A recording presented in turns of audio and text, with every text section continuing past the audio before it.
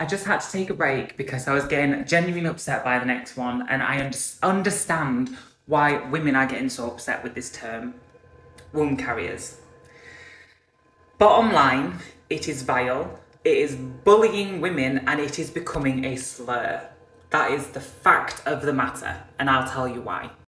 It's not fair to reduce a woman down to parts of her reproductive system. Some women might not have a reproductive system, and that's okay. It does not make you any less of a woman. I urge people to stop using this term. It is a slur.